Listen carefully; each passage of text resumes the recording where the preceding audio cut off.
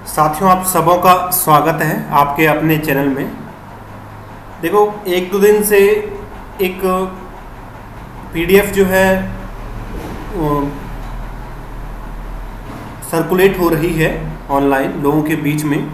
वो पीडीएफ ये है कि उसमें यूके ट्रिपल एस सी ने लाइफ स्टॉक जो है एक्सटेंशन ऑफिसर यानी कि पशुधन प्रसार अधिकारी का जो सिलेबस इसमें बताया गया है तो इसी के बारे में आपसे बातचीत करने आया हूँ कि बहुत से मुझे लोग पूछ रहे हैं कि, सर, क्या ये ऑफिशियल सिलेबस है? तो मैंने सोचा आप सबको रिप्लाई करना पॉसिबल नहीं है, इसलिए इस पर एक वीडियो बना देता हूँ। देखिए, ये है वो पीडीएफ जो सर्कुलेट हो रहा है सबों के बीच में। आपको भी अगर मिला है ये व्हाट्सएप में किसी भी माध्यम से तो इसको देख लें। एक बार इसमें लिखा गया है कि live stock extension officer and exam pattern and syllabus syllabus और एग्ज़ाम पैटर्न दिया गया है, ठीक है?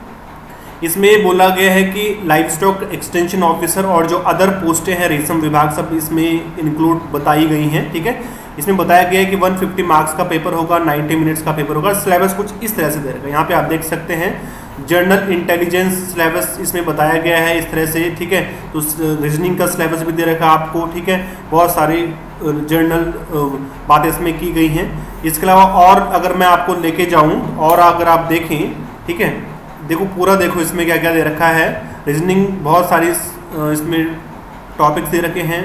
जनरल साइंस का जो सिलेबस इन्होंने दिया है, इसमें सिर्फ़ जो है, देखो यहाँ पे एक natural product and drugs chemistry से रिलेटेड है। Nuclear chemistry chemical kinetics organo reaction electrochemistry analytical और पॉइजनस एंड क्वांटम केमिस्ट्री ये सब दिया गया है, ठीक है। एप्टीट्यूड का भी इसमें उन्होंने बोला है कि इस तरह से है।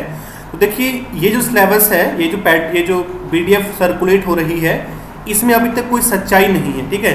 ये कोई भी इस, ये सिलेबस नहीं है, इस पर आप बिलीव फ़िलहाल तो नहीं कर सकते, क्योंकि जब भी भी ऑफिशियल सिलेबस रिलीज़ होगा, आप खुद भी चेक कर सकते हैं, मैं आप वीडियो भी बना दूँगा। तो कैसे पता करना मैं आपको अभी यूके ट्रिपल एससी की ऑफिशियल वेबसाइट पे लेके चलता हूँ। ये देखिए, ये यूके ट्रिपल एससी की ऑफिशियल वेबसाइट है, यहाँ पे आप देख सकते हैं, ठीक है? आपको कहाँ मिलेगा सिलेबस कुछ नहीं करना, आपको यूके ट्रिपल एस की ऑफिशियल वेबसाइट खोलनी है और ये कॉर्नर पे इस इस वाले सेक्शन में जब आप जाएँगे syllabus of general papers and latest advertisement जितने भी एडवर्टीजमेंट यूके ट्रिपल एस निकालता है, उसका सिलेबस हो यहाँ पे, ठीक है?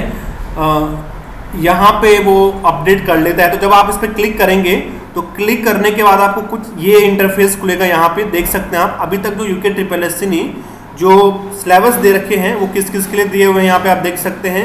एक तो यहाँ पे फॉरेस्टर के लिए दिया है, ठीक है, ये तो बहुत पहले आ गया होगा, आपको पता होगा।